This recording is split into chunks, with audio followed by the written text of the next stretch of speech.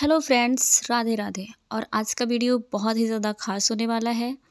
आज हम एक ऐसे दिव्य वनस्पति के बारे में बात करेंगे, जो बहुत ज़्यादा चमत्कारी है। और ये जो पौधा है ना, हर जगह ऐसे मिल ही जाता है। गाँवों में अधिकतर मिलता है, शहरों में नहीं, लेकिन गाँवों में अधिकतर ये पौधा मिल ही जाता है। इसका हमारे शास्त्रों में बहुत ज़्यादा वर्णन है। जब नवरात्रि की पूजा होती है, जो हवन सामग्री होती है ना, उसमें भी इस पत्ते का उपयोग किया जाता है।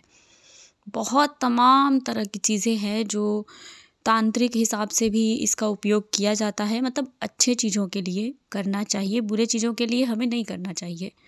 तो इसका जो जो जड़ होता है, उसे हमें एक दिन इसको आमंत्रित करना पड़ता है और उसके बाद हमें इस जड़ को लेना होता है और इसे दूध गंगाजल में धोकर और इसे एक छोटे से कपड़े में लपेट कर आप अपने पास रख सकते हैं। पहनना भी है तो पहन लीजिए या फिर अपने पास रखिए।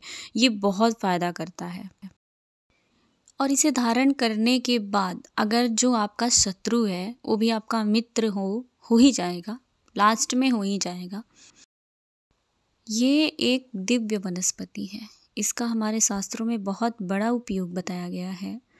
आज तो मैं नहीं बताऊँगी, लेकिन अगले वीडियो में मैं आपको इसकी सारी जानकारी ज़रूर दूँगी। तब तक इस वीडियो को पूरा देखिए। और हो सके तो वीडियो को पूरा पूरा शेयर कीजिए, क्योंकि मैं जो है फालतू बातें नहीं बताती, मैं अच्छी चीज़ें ही बताती हूँ जो आपके काम आए।